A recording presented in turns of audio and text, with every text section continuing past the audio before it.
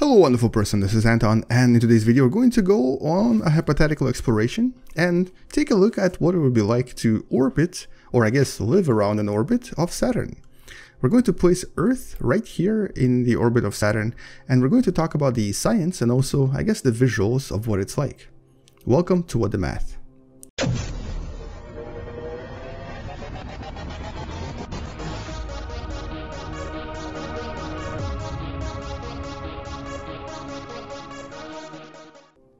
So first of all, where exactly is Earth located right now? It's actually inside the ring of Saturn. I made it so that it's actually kind of half in and half out. And I did this on purpose because I wanted to show you the visuals of what it would be like to orbit around this beautiful planet. But today we're also going to briefly talk about the dangers and I guess the science of why this is maybe not such a good idea after all. First of all, let's start with why is it that the Earth is actually a planet and not a ring? Many of you may know something called Roche, Roche limit, uh, which is the distance from uh, an object where because of the gravitational attraction of the bigger object, the smaller object might actually fall apart and turn into a ring. In other words, shouldn't Earth also kind of turn into shredded pieces of rock? And the answer is no.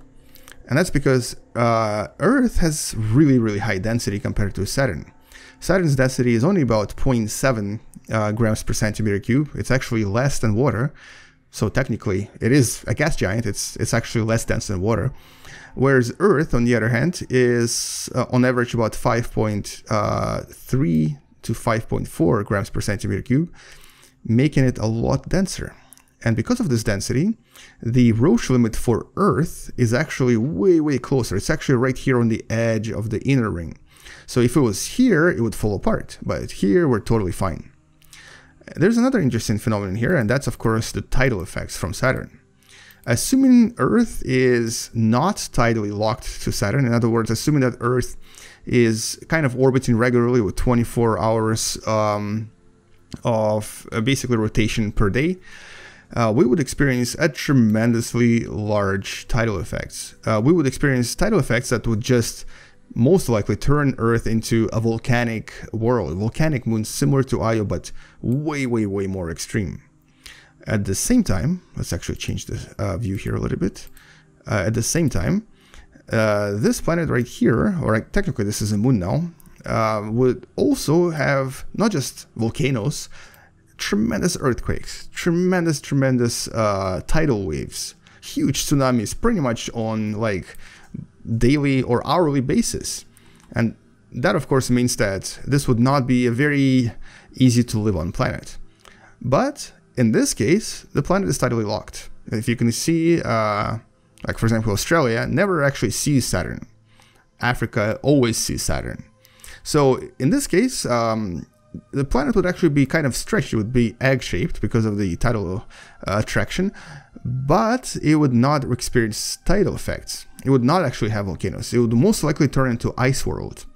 So in this case, it's actually not an ice world because of the way that I set it up right now, but it would probably turn into something similar to Enceladus or Europa. Uh, it would just be an ice-like surface with some rocky formations on the surface as well. So it would be a very different world. Um, the other dangers of orbiting Saturn are radiation. Saturn produces a tremendous amount of radiation. As a matter of fact, we would receive way, way more radiation from Saturn than we would from uh, from the Sun. The Sun is actually right there somewhere. Let's look at it. It's really far away. It's about 9 astronomical units away from us. That's about 9 times more than the original distance of Earth. And this implies that we will receive about 80 times less heat and radiation from the sun. Most of our radiation would be coming from Saturn, and but it would not be the kind of radiation you want.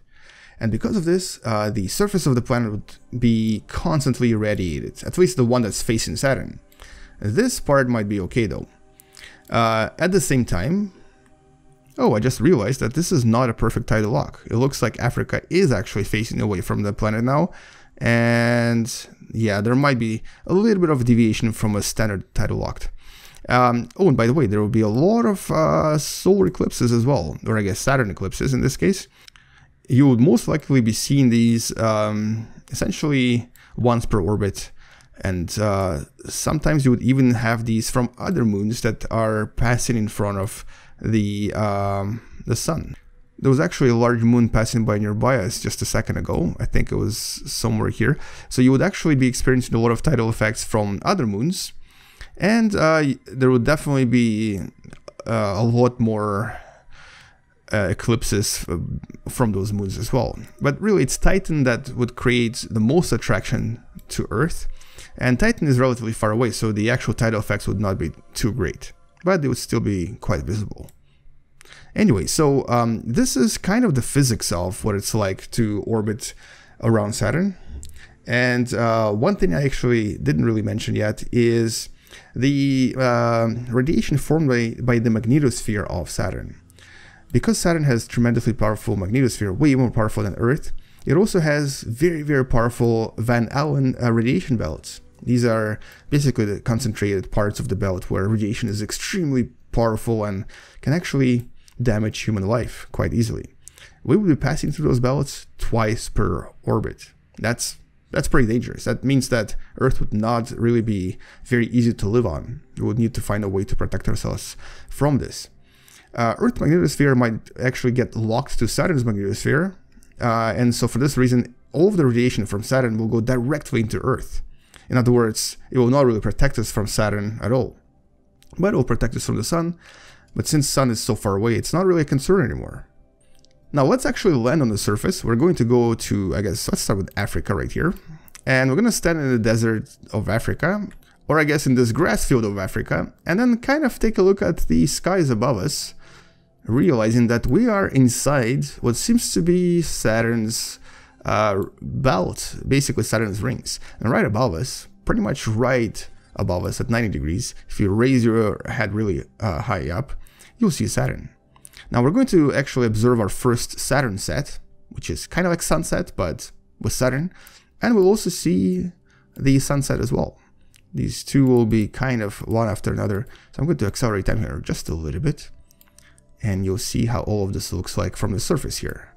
So here's the sunset, and the night skies appear right above us, and just like that, if we actually turn around here, you'll also see the Saturn set, an absolutely beautiful event that you don't really get to see very often, or at all. It's only Space Engine allows you to imagine these things. So here is a tremendously beautiful, very unusual event of Saturn setting in the night skies. Now we're going to also see Saturn rise in a few minutes, or I guess a few seconds, as it kind of circles around, or as we circle around Saturn. And interestingly, you can see the sun actually rose from the same location where Saturn set. So if we were an early civilization trying to understand space right now, we would be so confused. Why is it that as soon as Saturn set, the sun rose, and then sometimes it actually doesn't happen that way? So the pattern itself is actually not uh, that predictable. And also there's a lot of other moons you can see orbiting around. Oh, here comes Saturn. Uh, a lot of other moons in the skies of Earth that will be moving ridiculously fast. So for any early civilization, human civilization or otherwise, living on a such a such planet would actually be relatively confusing. At least to explain all of this stuff. Here comes the Saturn, and look at that sun is coming down. We just passed through the rings as well. You kind of saw the uh, the, the sort of the rocks of the rings passing through us.